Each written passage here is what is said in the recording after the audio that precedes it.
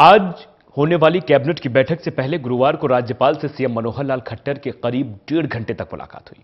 मुलाकात के बाद हरियाणा विधानसभा के भंग होने की जो अटकलें लगाई जा रही थी, कैबिनेट बैठक के बाद ही सरकार ने उन पर विराम लगा दिया।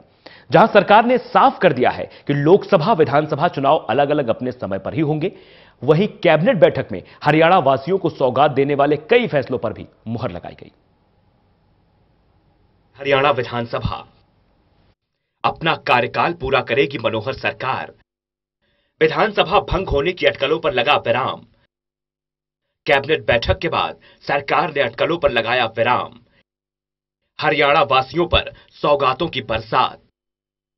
कैबिनेट बैठक में कई अहम फैसलों को सरकार की हरी झंडी। लोकसभा चुनाव से पहले सरकार ने की राहत की बारिश।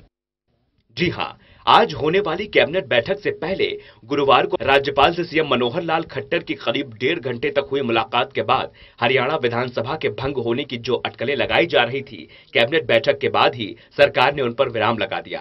सरकार ने साफ़ कर दिया कि लोकसभा विधानसभा चुनाव अलग अलग अपने समय पर ही होंगे। उधर शुक्रवार को हुई कैबिनेट की बैठक में लोकसभा चुनाव से पहले सरकार ने हरियाणा वासियों को कई सौगात देने वाले फैसलों को भी हरी झंडी दे दी। कैबिनेट बैठक में कुल 16 एजेंडे पेश हुए। इनमें से 9 एजेंडे पास हुए। बैठक में तय किया गया कि अगली कैबिनेट बैठक होली के बाद होगी। बैठक में लिए गए सौगातों भरे फैसलों में हरियाणा वासियों को एक लाख साठ हज़ार तक का लोन लेने पर अब स्टाम्प ड्यूटी नहीं देनी होगी। यानी कि उन्हें स्टाम्प ड्यूटी से निजात दी गई है।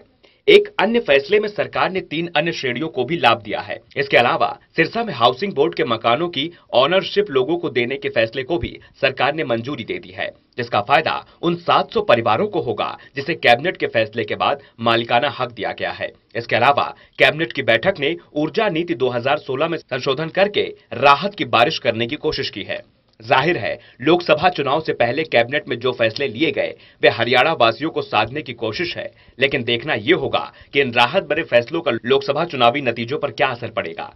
चंडीगढ़ से अनिल कुमार के साथ हरियाणा डेस्क